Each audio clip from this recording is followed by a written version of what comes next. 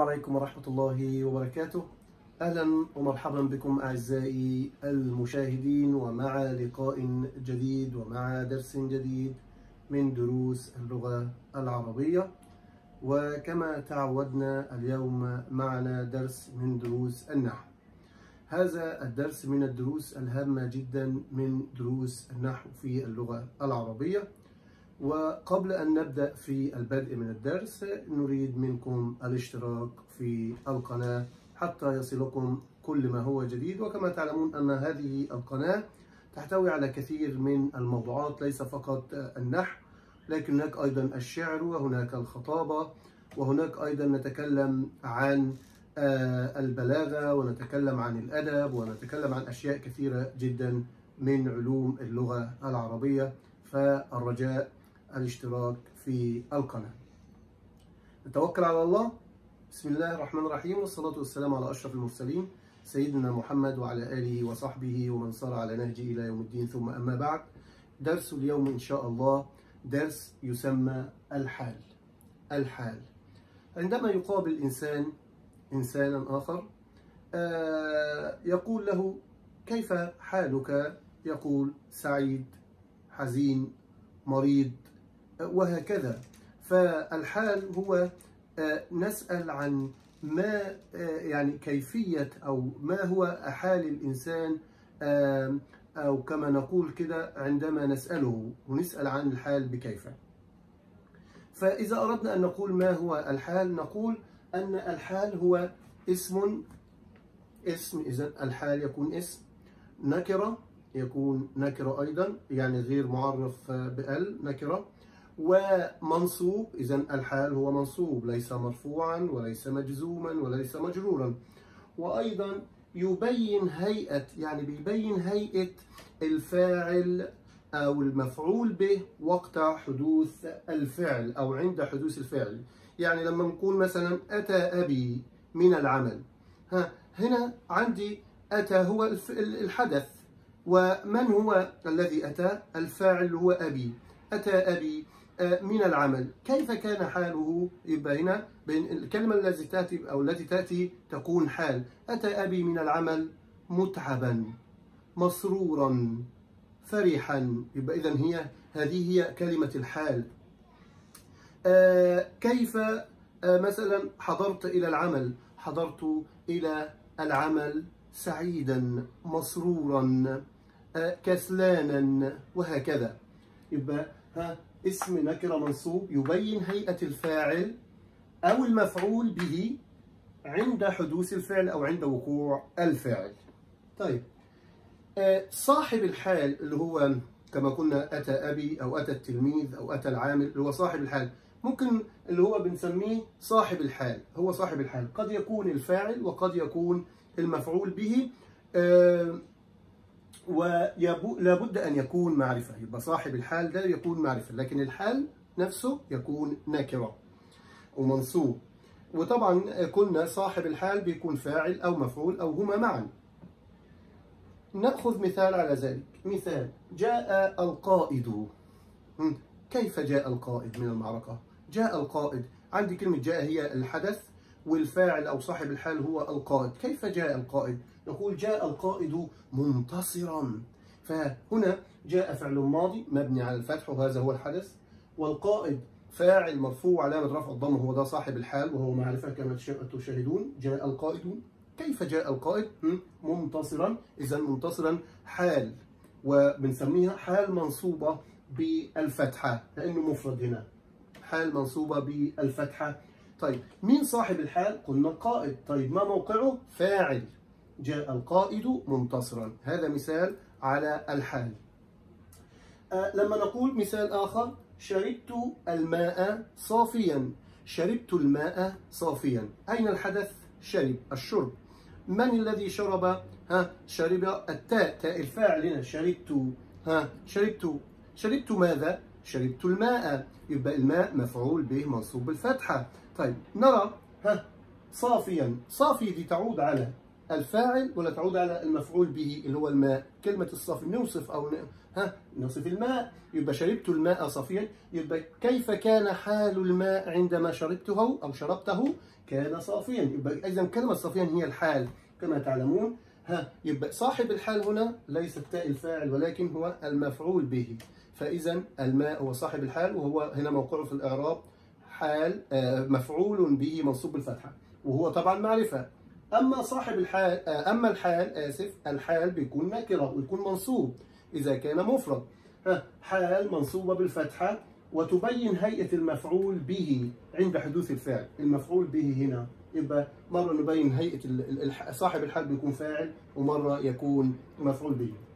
نقول مثلا مثال آخر حضروا جميعا حضروا جميعا.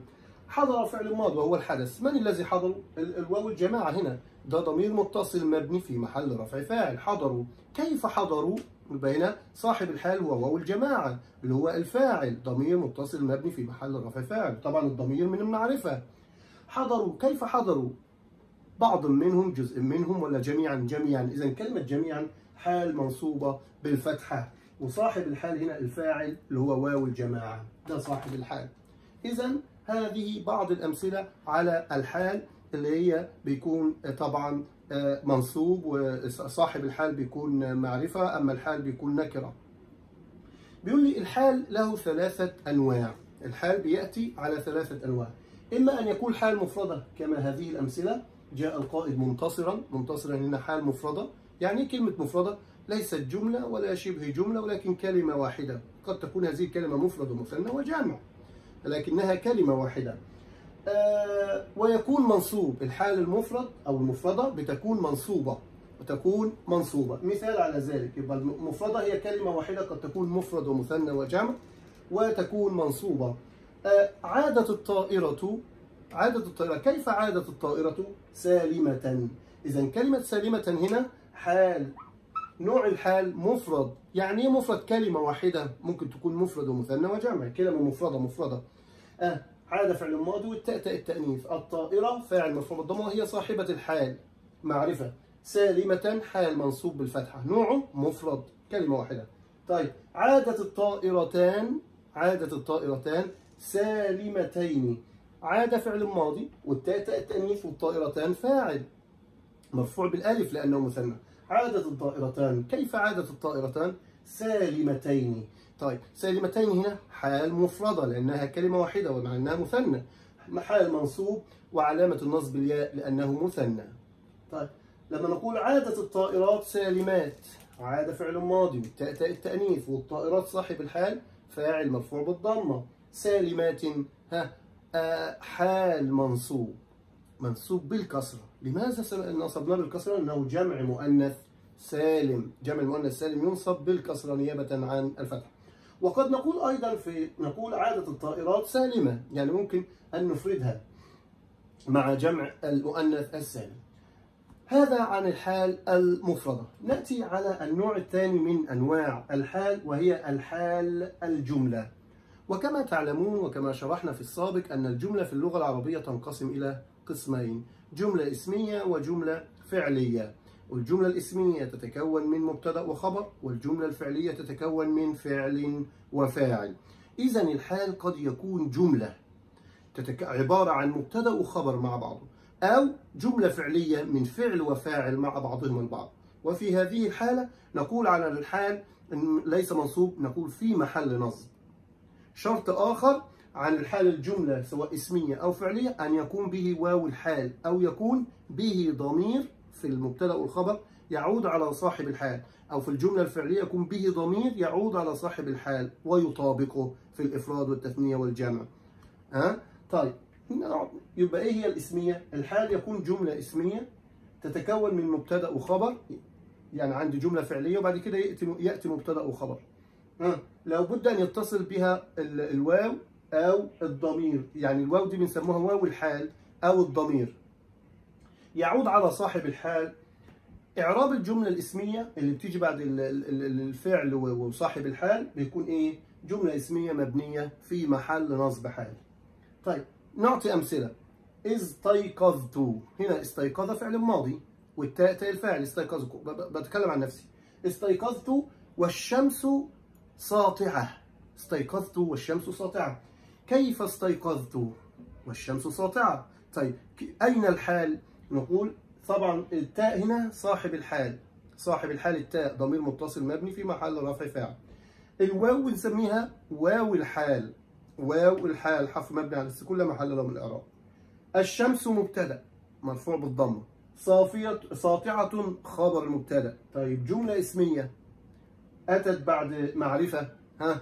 نقول عليها إيه؟ وبعد واو الحال نقول والجملة الاسمية من المبتدأ والخبر في محل نصب حال. في محل نصب حال. طيب لو حبينا ندخل عليها اللي هو ضمير. صار الطفل هنا جملة فعلية صار فعل ماضي والطفل فاعل مرفوع بالضمة. وطبعا صاحب الحال الطفل. صار الطفل كيف صار الطفل؟ كيف مشى الطفل؟ وهو يبكي. هنا عندي جملة اسمية. الواو بنسموها واو الحال. هو مبتدأ ضمير مبني في محل رفع مبتدأ. ويبكي فعل فاعل خبر المبتدأ. طيب والجملة الإسمية وهو يبكي في محل نصب حال.